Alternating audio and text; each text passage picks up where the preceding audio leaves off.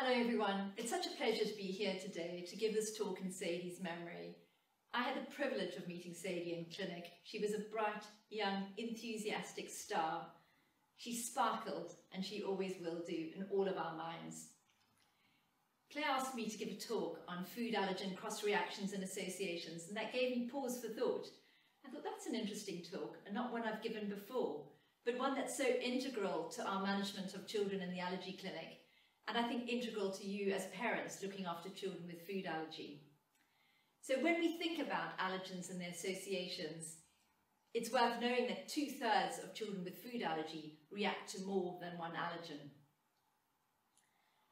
Being allergic to some foods will increase your risk of being allergic to others.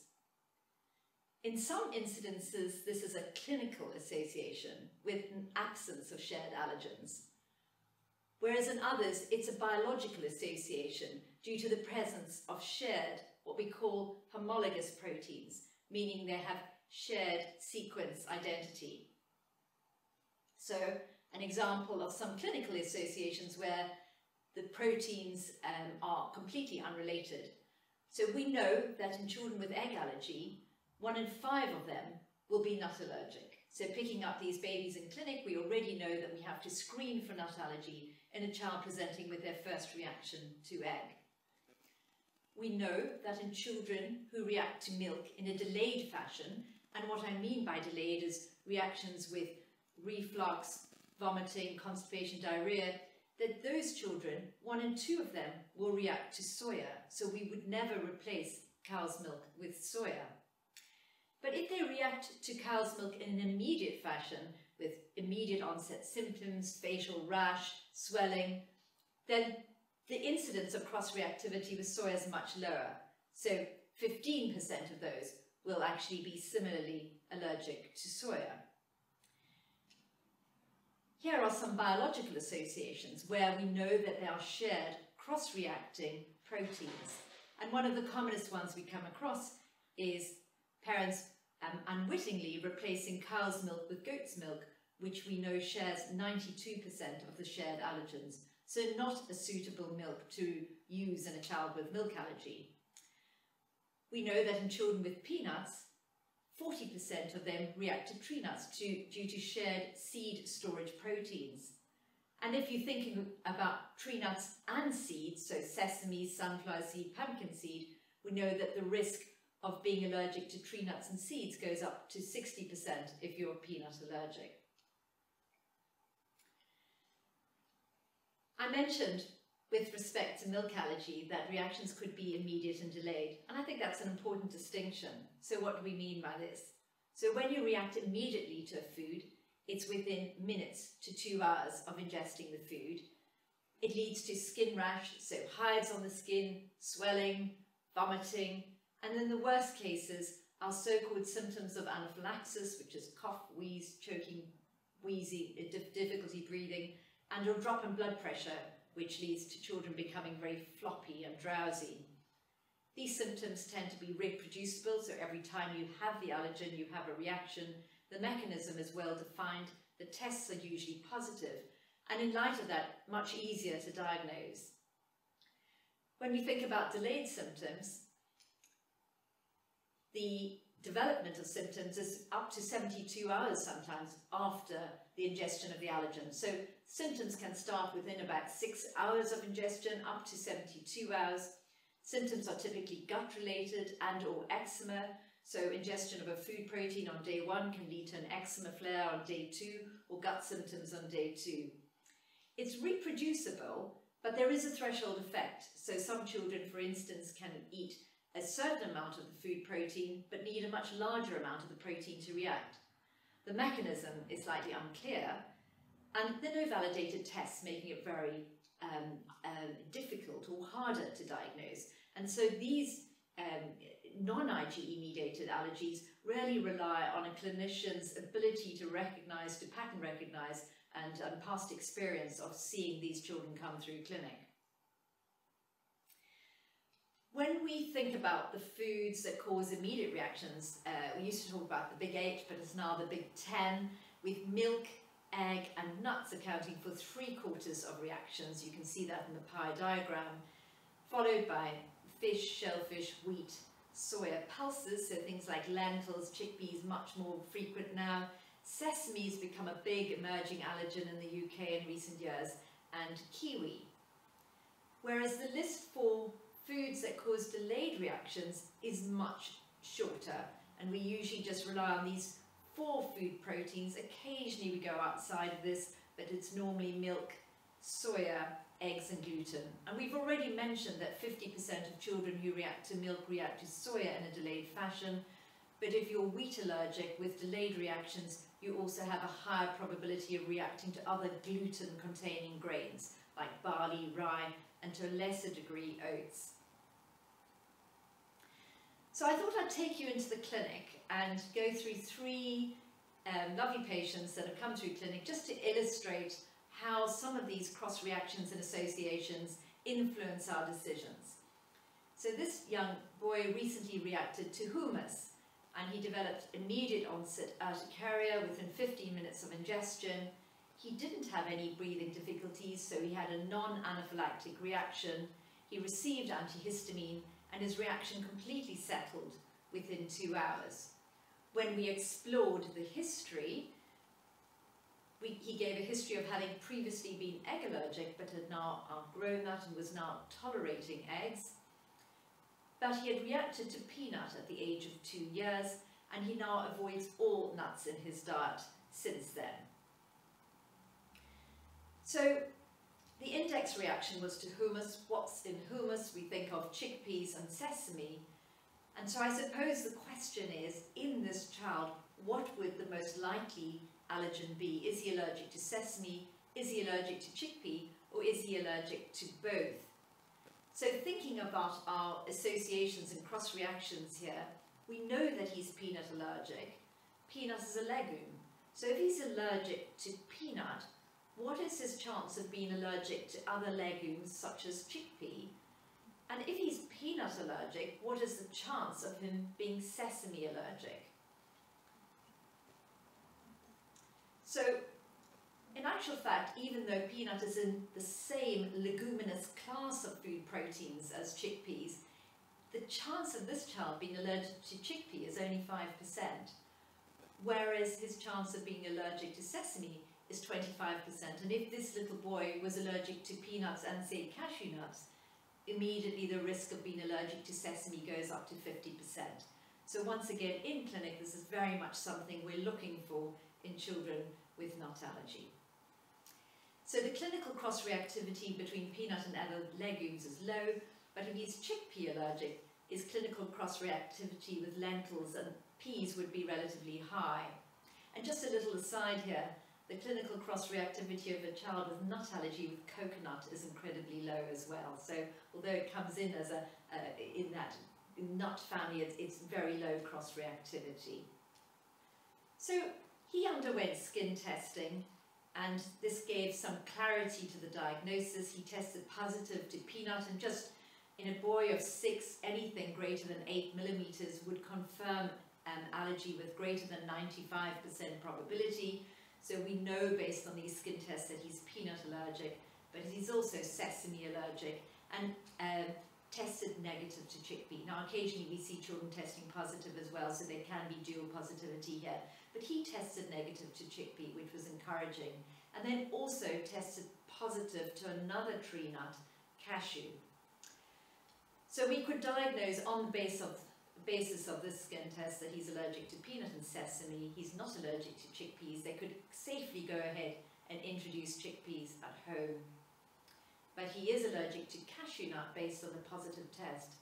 And based on our knowledge of cross-reactivities, we already know that he's got a very high probability of being allergic to pistachio nuts. So just looking at that, um, so children with cashew nut allergy, their risk of being pistachio nut allergic is 85%, but if you pistachio nut allergic, that's your index reaction, almost all of those children are cashew nut um, allergic. And we see similar patterns with walnuts and pecan nut. So 75% uh, of children allergic to walnuts are also allergic to pecan nuts, but the other way around, if you're pecan nut allergic, almost all of the children who are pecan nut allergic are going to be walnuts allergic.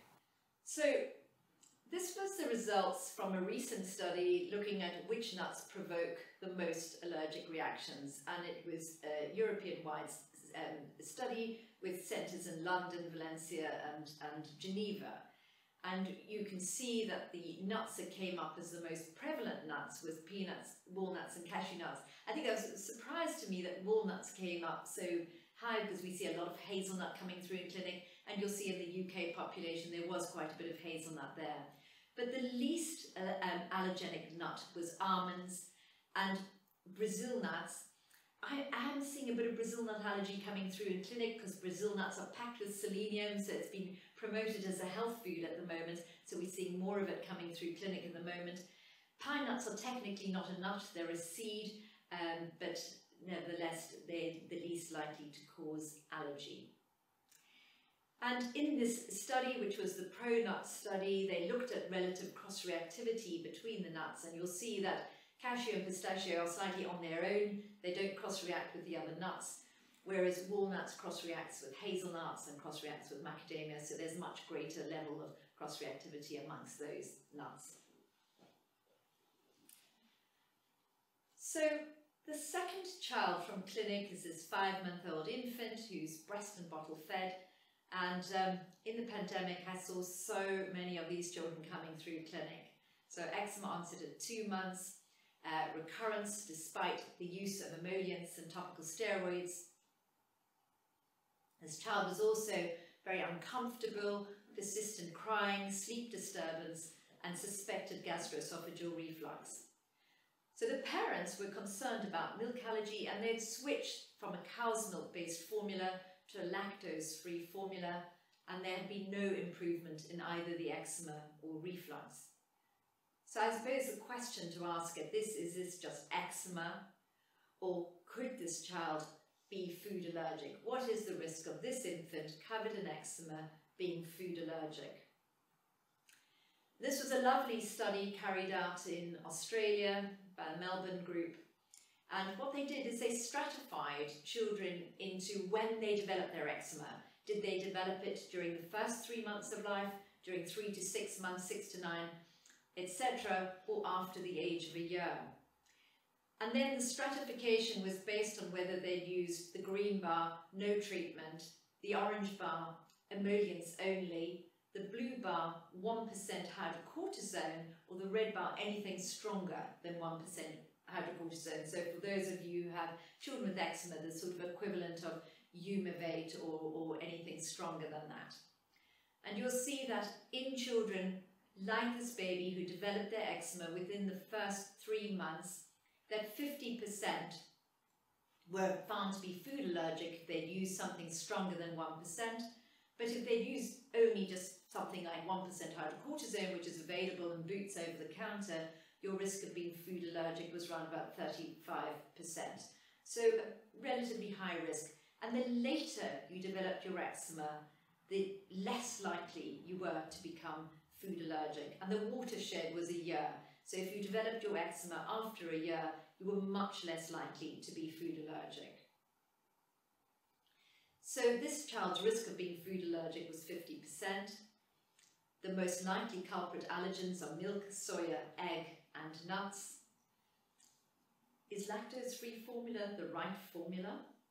I put it out that question to you and the answer is absolutely no because what lactose-free formula is, is, is, is a milk where the milk sugar has been removed and all the milk proteins left behind. And in cow's milk allergy in young infants covered in eczema with reflux and gut symptoms, it's always the milk protein we worry about. So replacing it with a lactose-free formula is not going to be helpful for that child. So lactose intolerance develops in older children after gastroenteritis. It's in some it, it, occurs in some racial groups genetically, but they usually present much older. So the infants reacting to milk are usually reacting to milk protein. Some of them marginally improve, and that's because they malabsorb the sugar as well, but it doesn't solve the problem. So what about goat's sheep milk? Well, 92% cross-reactivity, we've already mentioned that, so not suitable. We've already mentioned that um, soya milk is not suitable. But if you've got a donkey in the garden and you can have access to mare's milk, the cross-reactivity is very low. So we occasionally come across that in clinic. What about formulas? Well, this child would require, if we were going to go on to formula, a hyperallergenic formula, and there are two levels, the one being an extensively hydrolyzed where the proteins are broken down, and that's tolerated by 90% of children with milk allergy. But uh, sometimes we have to go on to the next level of formula called an amino acid based formula, rather sort of expensive, unpalatable formulas, but nevertheless tolerated by most children with cow's milk allergy. I think a plug for breastfeeding here, that breastfeeding is like feeding your child a hypoallergenic formula. So breast milk is, is, is an excellent um, um, feed that's low in allergenicity and we would often work with the mother's breastfeeding and ask her to remove proteins from her diet such as milk and egg in a child like this. So I'm not going to spend too much time on this, but just to focus on the fact that when we're thinking about food allergic reactions, we're talking about immune-mediated reactions, and those are either the quick onset, the IgE-mediated, or the non-IgE mediated, whereas a lactose intolerance is actually not even an immune-mediated reaction, it's an enzyme reaction, and it falls out of the, the remit of food allergy completely. So when this baby was introduced to solid foods and weaned, uh, she reacted immediately to egg with redness and urticaria, and when given salmon, she developed redness around her mouth and vomiting. The parents were frightened at this point to try new foods, They'd introduced chicken and pulses, they'd introduced a bit of oats and wheat, but they'd not yet tried nuts and sesame and were fearful of doing so. They were asking, should they avoid all forms of egg? They'd heard that some children can have baked egg and, cakes and biscuits. Should they avoid all fish? And what about shellfish? So the question is, if allergic to hen's egg, are they going to be allergic to other eggs? And the answer is absolutely. These different forms of avian eggs, such as duck, quail, goose, share very similar cross-reacting proteins. But there's low cross-reactivity with chicken, so we don't normally advise not trying chicken in a child who's reacted to egg. Occasionally you'll get a child who reacts, but it's less than 5%. The next question was, well, what about other forms of egg, like baked egg? And that is because of this observation that heating or processing of egg can alter the allergenicity. So what we mean by that is some children need to see the whole protein to react. So the whole protein would be present, for example, in raw egg, whereas other children need to see only tiny little fragments of egg to react. So as you start cooking egg and baking it, you start breaking up these proteins into ever more smaller fragments. And the child who's most allergic will react to those fragments in, within baked egg, whereas others won't. So 80% of children who are egg allergic are able to tolerate egg in baked goods, but the decision to introduce is very much a clinical one because there is a risk of an immediate reaction and so usually that's done in hospital if you're doing it with high numbers. There may come a point where a clinician advises you to do it very gradually or slowly at home.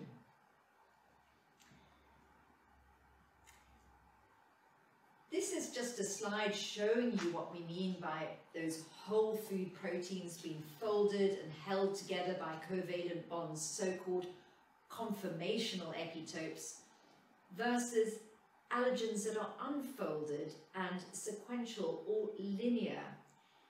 And these allergens differ between different proteins.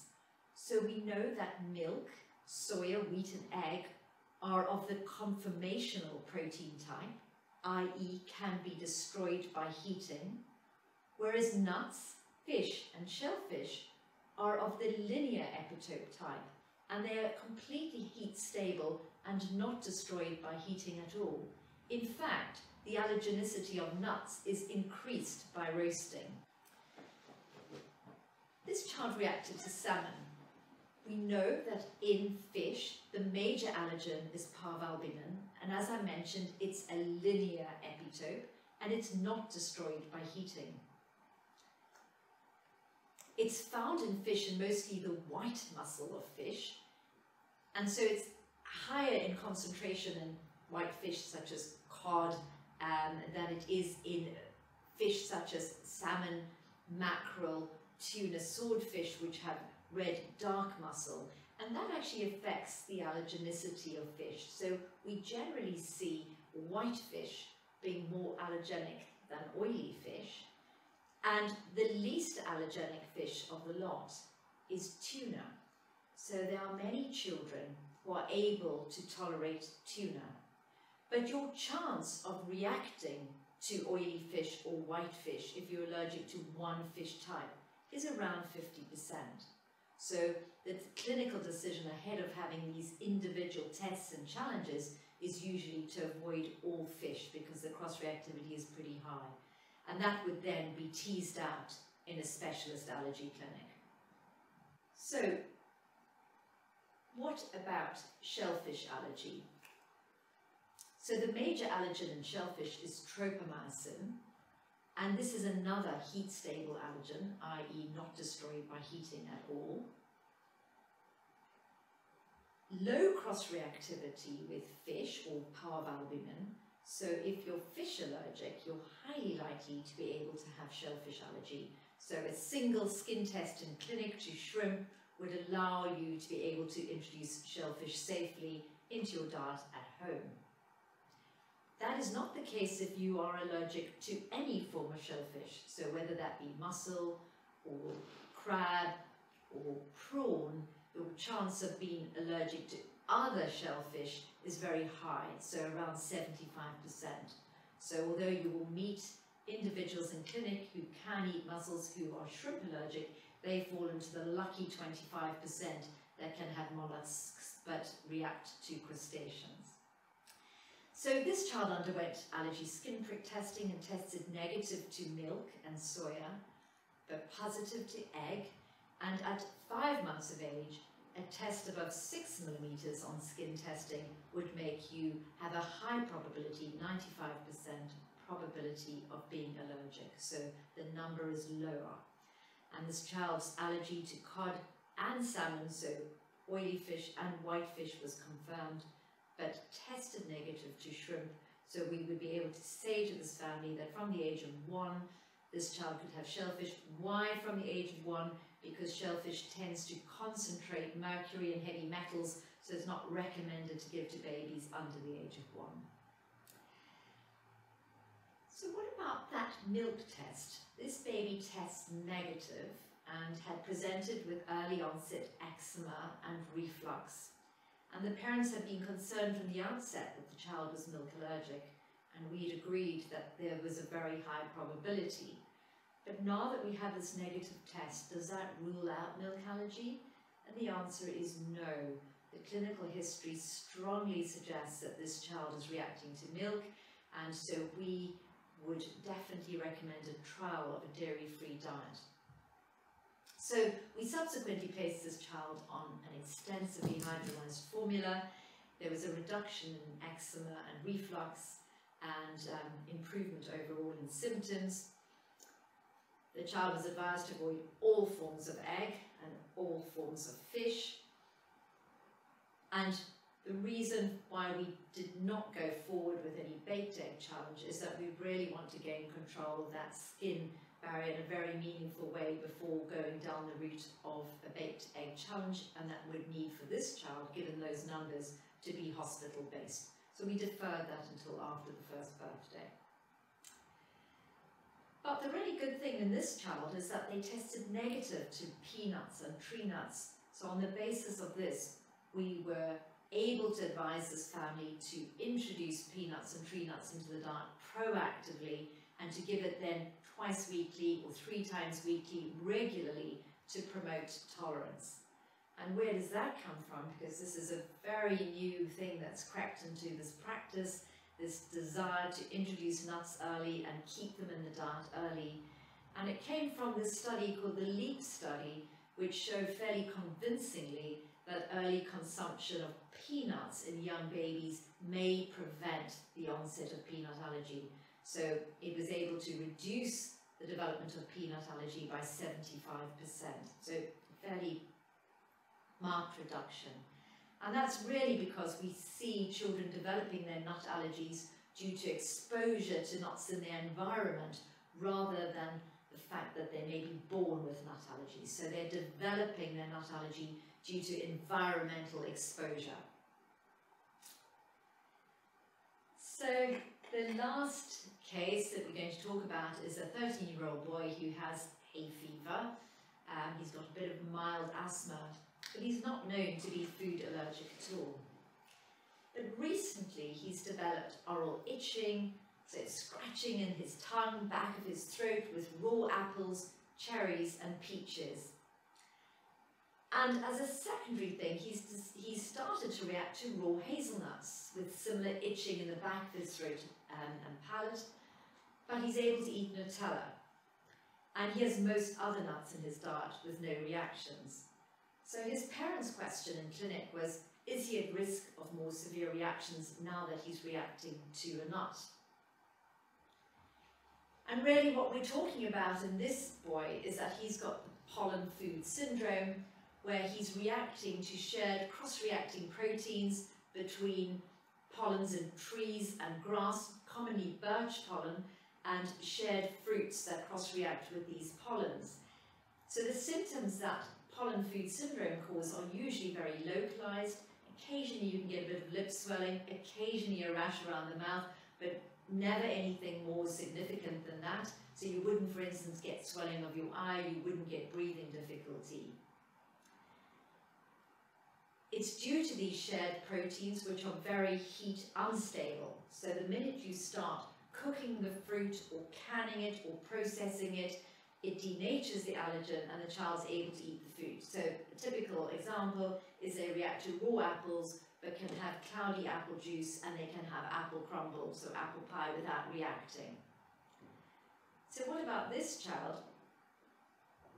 He's also reacting to nuts and we'll come on to that in a minute. But there are some children who have pollen food syndrome so they have localized itching, itching, swelling of their tongue, back of throat, who carry on reacting to the food protein even when it's heated. So the typical example, this is very common in Spain with peach. So it doesn't matter if the peach is cooked or processed or canned, these children still react to the protein and can react more severely. So they can even have anaphylaxis. So the reactions can progress beyond these localized trivial symptoms and cause anaphylaxis. And that's due to the presence of this small protein that we find called lipid transfer protein. Very common in southern Mediterranean countries where the, the foods causing those reactions are often peach, cherries, and curiously tomatoes sometimes causes reactions, whereas in Northern Europe and Britain, we very rarely see LTP allergy. It's quite infrequent, certainly in our pediatric population. So this is just a chart share, sharing with you the foods which cross-react to certain pollens. So when you've got a child who's tree pollen allergic, we see that birch pollen crossing reacting, cross-reacting with most of the stone fruits. As I said, peaches, plums, cherries, apricots, it's very common, and apples and pears are common. But I've put in green here the nuts, so you can also see hazelnut coming up there. Grass pollens less commonly cross-react, but we get watermelons, melons, um, and peanut is a big one to cross-react with um, grass pollen. And then um, ragweed is a common one with melon and banana. So this child's reacting to raw hazelnut, but he can have Nutella, and that's because he's reacting to this PR10 shared protein that uh, um, basically is heat unstable, and when you roast the hazelnut to put in Nutella, he's tolerating it, but when you give him a raw hazelnut, he's reacting to it. So his his, it's a secondary nut allergy, not a primary nut allergy. His reactions are likely to stay trivial, at low risk of anaphylaxis, and so he doesn't need an EpiPen. The allergy tests in pollen food syndrome are usually positive, so if you're reacting to a fresh fruit and you bring the fruit into clinic, we'll test and we'll usually react, test positive. The allergen skin test reagents are very unreliable because the allergen is so unstable that the skin test solutions don't pick it up, so we need to test with fresh fruit. Um, but the IgE test, the blood test, can be very helpful in identifying primary from secondary allergy, and that's particularly relevant for nuts. And so I'm going to leave you with this chart that really sort of summarizes the cross reactions we've talked about. Starting at the top, you can see that if you're legume allergic, what your risk of reacting to other legumes is. If you're um, nut allergic, what your risk is of reacting to other tree nuts, fish and other fish, and so forth. And we drop down to the bottom of the chart and I'll just finish off by saying the one thing we haven't touched on is the latex fruit syndrome. And we know that in those individuals who are latex allergic, you're more likely to react to certain fruits. And those fruits group together, and those groups are kiwi, avocado, and banana. So if you see a child who's coming in with kiwi allergy, we always ask about banana and avocado as well and test if they haven't yet ingested it. Um, but the other way around is much lower. So if you're allergic to kiwi, your risk of being allergic to latex is only 11%. Um, so I thank you very much for your attention and for listening to this. And I know that there will be some opportunity going forward to pose your questions and I'd very happily answer them. Thank you very much. Bye-bye.